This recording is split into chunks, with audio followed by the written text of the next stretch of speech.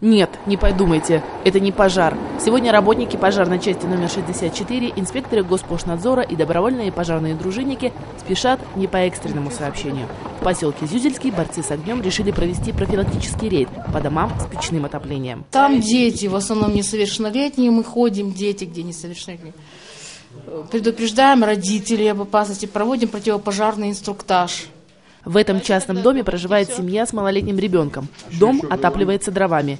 Первое, на что обращают внимание участники рейда, это отсутствие притопочного листа у печки. Ваша безопасность в ваших руках, то есть чтобы вам себя уверенно и спокойно чувствовать, то есть нужно соблюдать меры безопасности. То есть вот здесь лист должен быть 50 на 70 металлический, чтобы у вас угольки не произошло возгорание. Лампочка у вас открыта, то есть плафон нужно использовать, потому что у вас деревянные перекрытия. И э, проводка, то есть там вот получается, что чтобы это не доделано скруток, да, не было никаких, то есть вот и по деревянным поверхностям нужно безопасить. Алексей Попов, представляющий Полевское всероссийское отделение добровольческой пожарной охраны с помощью современного оборудования, проверяет, насколько чист дымоход, нет ли засоров и есть ли тяга в печи. 0,06, 0,04. Но это теплая печка. Если поставить к дымоходу,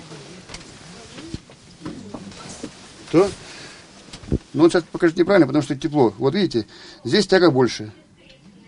Увеличится у него. И в зависимости, отходим дальше, температура меньше показывает.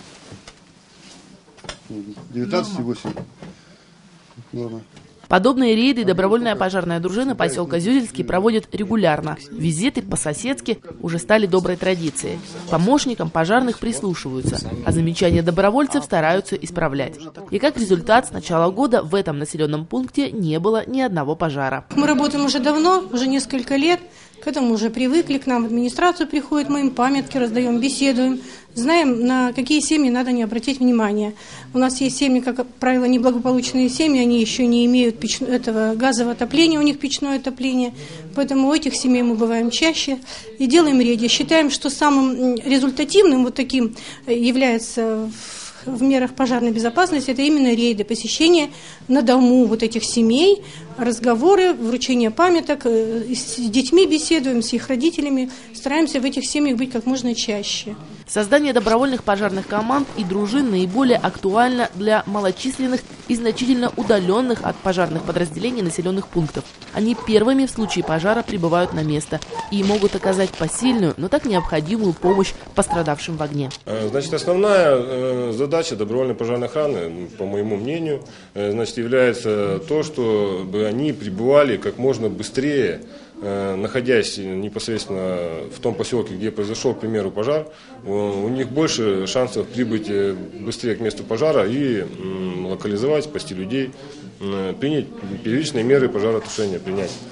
Особое место в работе добровольных пожарных дружин занимает борьба с лесными пожарами. Здесь зюзельчане вновь лучшие. Силами добровольцев с населением проводятся беседы, которые убеждают любителей пикников воздержаться от выхода в лес. Когда значит, устанавливается противопожарный режим, то, конечно же, выход в леса запрещен.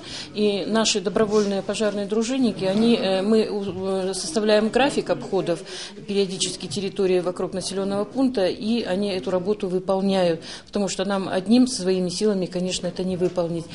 А, поэтому вот эти вот обходы, это э, значит посещение семей, э, где находятся дети, э, дома, вернее, с печным отоплением, это постоянные обходы этих домов осуществляются и с вручением памяток, и предупреждений о, действительно о соблюдении мер пожарной безопасности. Сегодня в канун празднования Международного дня добровольных пожарных дружин лучшим помощником огнеборцев первый заместитель главы администрации Дмитрий Коробейников вручает благодарственные письма. На территории города работает добровольная пожарная дружина, и э, власти и области, и города мы уделяют этому большое внимание. Потому что в свое время, если вы помните, эти дружины работали достаточно эффективно и в поддержке э, при тушении пожара, в помощь э, пожарной охране.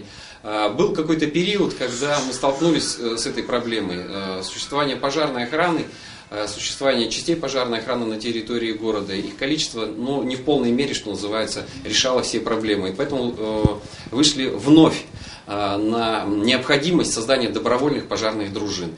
И э, со своей стороны и от э, лица главы города, я просто хочу сказать о том, что э, та работа, которую выполняют наши добровольцы, она на самом деле ее переоценить очень сложно.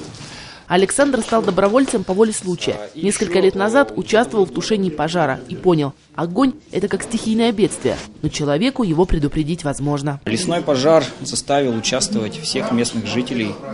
То есть получается, что вот поучаствовав, как-то так уже привыкли. То есть бдительность, чтобы люди не теряли. Добровольным пожарным может стать любой полевчанин, кому уже исполнилось 18 лет. Главное условие – это личная инициатива и желание быть всегда на чеку. Ксения Балденкова, Александр Полищук. Новости нашего города.